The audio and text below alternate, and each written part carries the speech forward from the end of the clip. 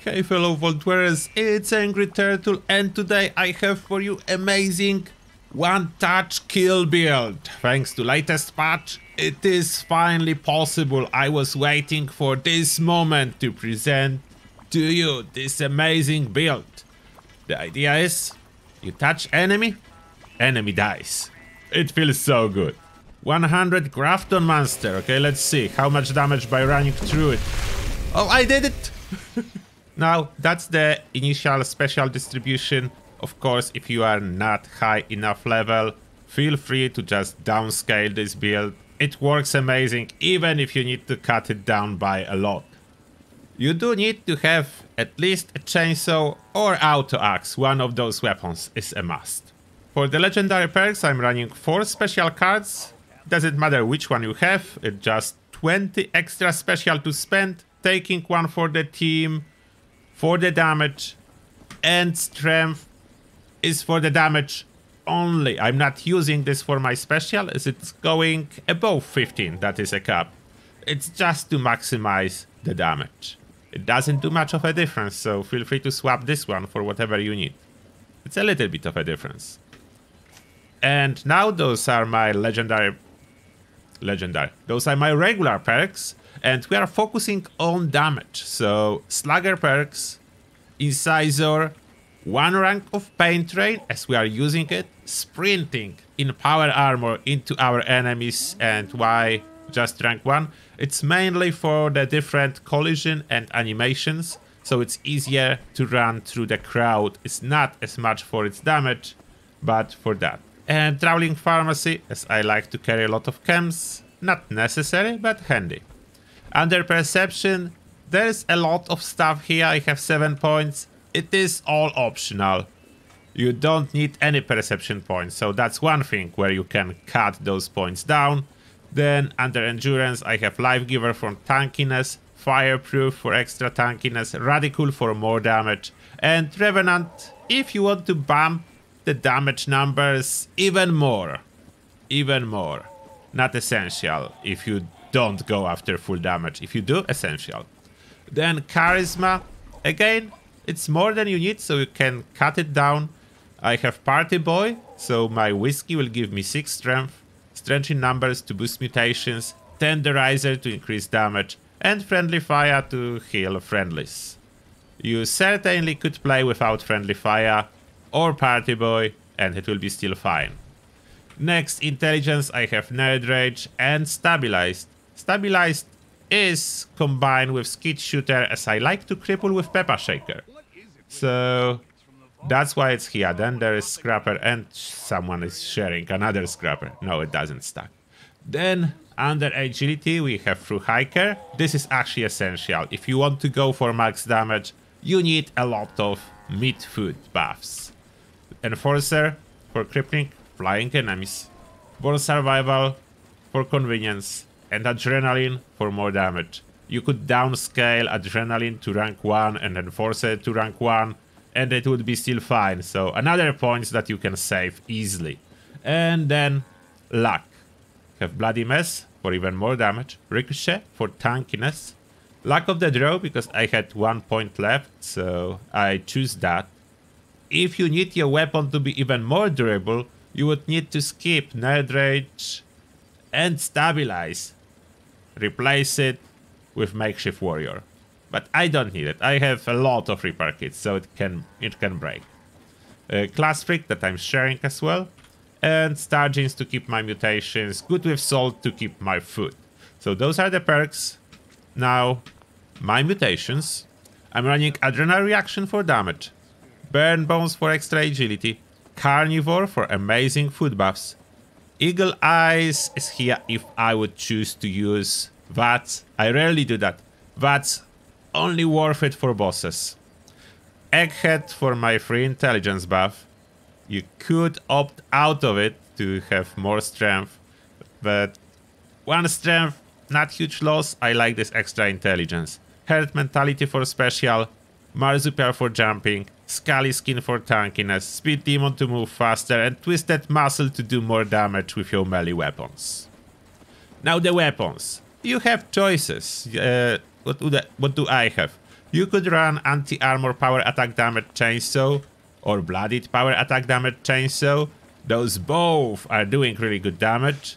What I'm running is vampire power attack damage auto axe. And difference between chainsaw, auto axe, it's very little difference. This auto axe, when I'm fully buffed, will do a little bit more damage than a chainsaw. Difference is not huge, but there is a little bit. And I'm using vampire. This vampire will heal me so I don't need to worry about my tankiness too much. And to be honest, I didn't manage to roll power attack damage or any other auto axe, so vampire it is. Power attack damage is very important. Now armor, I'm using full set of Over Overeater's Union, but it doesn't matter what power armor you have for the purpose of this build. Any will do. The important part will be to install optimized bracers on your arms and install... Where is my torso? Emergency protocols on your torso so you'll be super tanky and never die. So that's for the gear. Don't need really any more stuff. Overeaters is optional too. I have two pieces of overeaters. Other are just whatever I was able to roll. Full set of overeaters? Yeah, it would be better.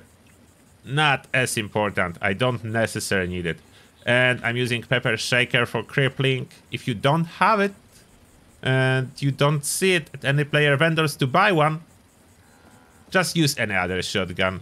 Although, yes, Pepper Shaker is superior for crippling, especially with single barrel, as it fires 16 projectiles per shot, so that's like instant crippling of everything in your sight. So that's really good. Legendary effect, doesn't matter. If you can get Vampire, this is awesome. Now into some action first without applying the food buffs. But it does work better, of course, with food buffs. So, no food buffs. I woke up some ghouls in here, so now, how you use it? Run, sprint, press attack, and then just continue sprinting and sprint into your enemies. Your enemies, if those are squishy like ghouls, die. That's why it's one touch kill. To do the full damage, you will need a food buff, but that only required. That's why I started without it. Your food buffs will be only required if you want to do the same thing versus like level 100 super mutants. At this moment, my damage is 15742. I don't even have a complete set of food buff, but what I have, I will use. Uh, surprisingly, if you have auto axe with electrified mode, High voltage Hefe will work on it. This one. I, am not sure if that works on chainsaws too. So let's see. Uh, my damage... Did adrenaline already expired? Yes, adrenaline expired now. So my damage with red upper. 130, 34. With the chainsaw. 124, 29. Let, let's test it. High voltage Hefe. 124. That didn't change. So it is exclusive to electrified mode on Red Upper. Electrified mode changes it into energy weapon and high voltage Hefe works.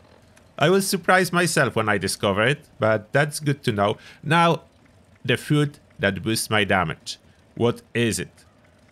Uh, anything that increases strength, like Deathclaw Steak, can pop that glowing meat steak. That's purely melee damage. That's a lot and easy to craft. Another one will be mutant hound chops. A lot of damage, easy to craft. Mutant hound stew, a little bit harder to craft, lots of damage. Then mutton chops. Those are harder. This is from Sheepsquatch, so you need to find some wild Sheepsquatch, kill it, and cook it. So this is more rare buff. Uh, there is another version that is harder to craft, but I didn't have meat for that. So what I have, I have. Then uh, I use Poached Angler for extra AP, so I can sprint for longer. Popcorn, so my thirst and hunger stays up. Uh, Scorchbeast Heart, that's for tankiness, really good, easy to obtain. Steak for tankiness. Uh, where is the damage stuff? Oh, uh, my favorite Steep Fever Blossom Tea. We pop that too. Uh, then I should have more. Do I have it? Oh yeah, I do have it. Yao Guai Ribs, that's easy to craft. And Yao Guai Roast, that's a little bit harder to craft. So I stack it all up. And now my damage is 198.52. So that's a significant damage boost. You can see all those damage bonuses. Yes, it is a lot of food. But most of that, all that's showing 25% easy to craft. And no, you do not need all of it uh, to, to do good damage. That is a little bit of an overkill. But it's so fun. Oh, there is level 100 Grafton Monster. Okay, let's see how much damage by running through it. Oh, I did it! I ran through Grafton Monster, one touch kill. Okay, that's awesome. Now Super Mutants. Oh, by the way, you can use... I'm not sure if there is button for that on consoles, but on PC there is button. If I press X, I don't need to touch the keyboard and I will be running forward. I can press attack and sprint, and then I can basically play with one hand. One hand on the mouse and nothing else. I would need to still use my other hand if I want to jump, but as long as I don't need to jump, I'm playing one-handed now. So that's one-handed Master Assassin, one touch, Pain Axe. Pain Axe build. Super mutants are dying. Okay, let's go on the inside. Let's see those super mutants that are a little bit more tanky. And we are inside one more trick. If you want to sprint and attack for even longer, you can pop a coffee in a can. And that will give you additional opportunity. Okay, I'm running, just not touching the forward button. This will ruin everything. I'm touching super mutants and killing them this way. Where are you? Here you are. Oh, I'm stuck. Jump. Nope. I'm stuck myself. It's a little bit too hard not to navigate in interiors with this approach. But look at my AP bar. It's not draining because I popped this one can. And now I'm just running through the super mutant, killing them, all the time sprinting. The only moment I need to slow down is to aim at them. So easy to run through. Look at that. That's the that's the one touch kill build. Uh, why is this guy dead before I even entered? I don't know. I missed one and I'm running out of AP. Okay, slow down. You don't actually need to sprint all the time. You can just run slowly and touch them. That works too. It's just more fun when you can sprint through and kill them all. But look how fast normally they die. That's why it's one touch kill. I like it so much they fixed the third person view to do this crazy damage. You just can casually walk through any location. You don't need to slow down and stop. Just casually walk and enemies that you touch die. That's just casual walk. And if I'm not sprinting, I'm not even using too much AP. You can see how slowly it's drained. It's only so slow in power armor. That's why I'm using power armor for this build. Otherwise it will drain way faster and I don't want that. So that's a casual walk through the super mutant base with barely any health, but that's not a problem in Vampire Auto Axe. So here it is for you. One touch kill. If you want to know if it works for bosses, it does. It does work for bosses. You will annihilate bosses. I was testing it on the Colossus on the team. Crazy damage. You are boosted like that. Crazy damage. That's that's per one hit. You do like 25 hits per second, so do the math. It's a lot of damage. It's a lot of damage per second, and you use zero ammo. Condition-wise, not too bad. It's going faster on bosses, because bosses has a lot of health and you will be consistently hitting for a longer duration. For regular everyday use, it's not losing much condition. During the boss fight, I need to fix it at least once. So that being said, I hope you like this build. Let me know what you think. I have a lot of fun with it. I will definitely play it now on Twitch, on today live stream, and most likely over the weekend on Saturday live stream here on YouTube. So, yes, I will be using this build for now. I like it way too much. It's so much fun. And that being said, thank you a lot for watching. and see you all in the next one.